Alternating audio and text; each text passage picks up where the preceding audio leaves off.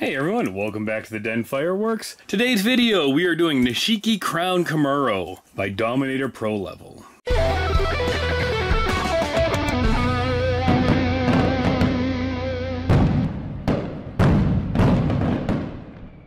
This is from the Dominator Pro level, not Pro line.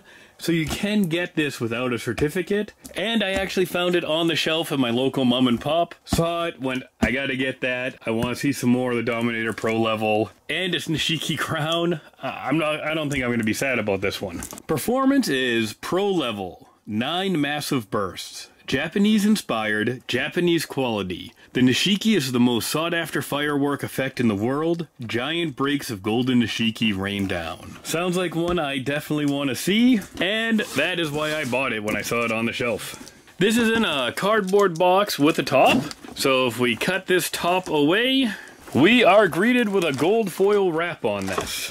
So let's take a look underneath this wrap. And we've got a sheet of paper as well. And we see all nine bores. And these are two inch bores in this NOAB.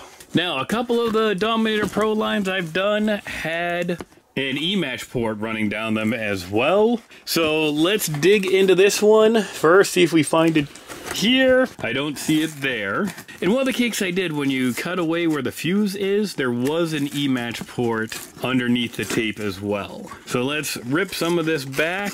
And this looks like we do not have any type of match port in it. We just have a normal fuse going into it right there. So I'm gonna get this one poked, get it ready to go out into the field, and let's see if this pro level NOAB gives us some really good draping willows, or if I'm kind of sad I picked this one up. Thanks everyone. Nishiki Crown Kamuro.